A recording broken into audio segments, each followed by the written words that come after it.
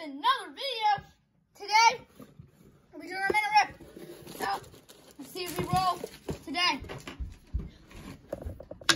The roll a coin, select seven. You get one, two, three, four, five, six, seven. 2019 opening day. Get right into this pack. Try to look for a Kyle Tucker rookie card. Oh, Mike drop! Brad Boxer. Opening day for Tigers. Nice. Michael Kopech. And a Juan Soto. And a Chris Archer. What a pack, guys. What a oh, pack. back. Tell us your favorite card